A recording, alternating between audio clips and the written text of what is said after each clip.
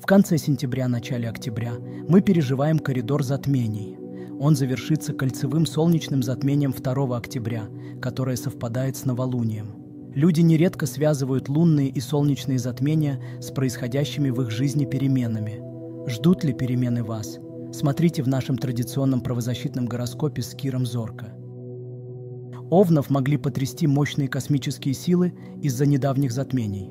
Затмения часто заставляют совершать радикальные изменения, освобождая от устаревших и неэффективных ситуаций.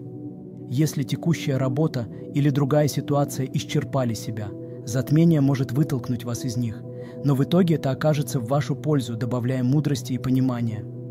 Тельцам планеты обещают устойчивость в отношениях, потому что в конце сентября Венера вошла в знак Скорпиона – в течение октября серьезные любовные и деловые отношения тельцов будут развиваться гладко. Любовь будет радостной и тесной, а деловые партнерства – легче управляемыми. Щедрость принесет вам особенную пользу в октябре. Близнецы в начале октября получат хорошие бонусы от затмения и солнечного новолуния в весах. Такие затмения обычно открывают новые возможности, а переживаются менее эмоционально по сравнению с полнолуниями. Это затмение принесет свежий ветер в любовную жизнь близнецов и поможет принять судьбоносные решения. Раки известны тонким и чувствительным стилем ведения переговоров. Раки также прекрасные слушатели, и все эти качества ставят вас в выгодное положение при обсуждении условий с клиентами. Процесс может занять некоторое время, и Сатурн потребует от вас терпения – Однако, если вы проявите его, вы сможете достичь взаимовыгодного решения, удовлетворяющего обе стороны.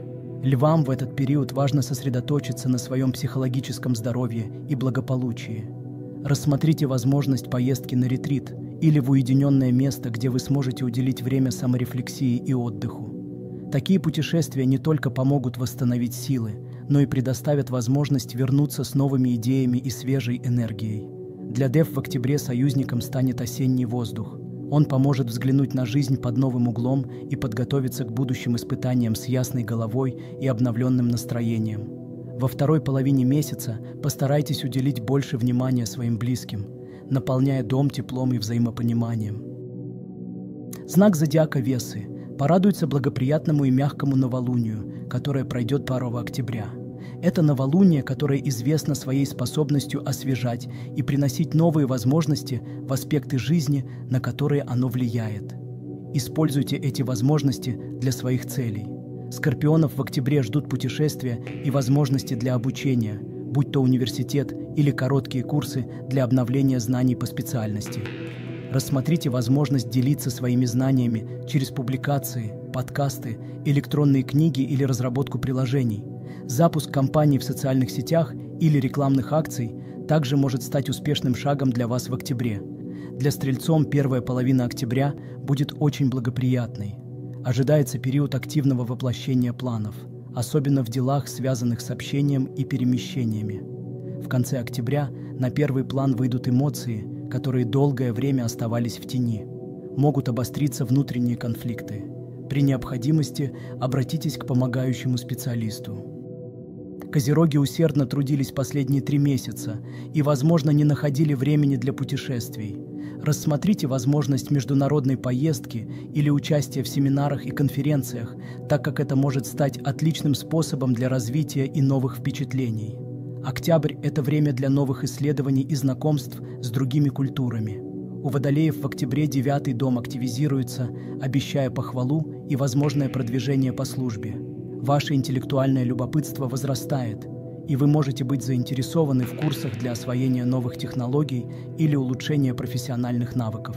У рыб на предстоящем затмении планета Венера будет играть ключевую роль. Она создаст гармоничное сочетание с Сатурном, а это укрепит финансовое положение рыб.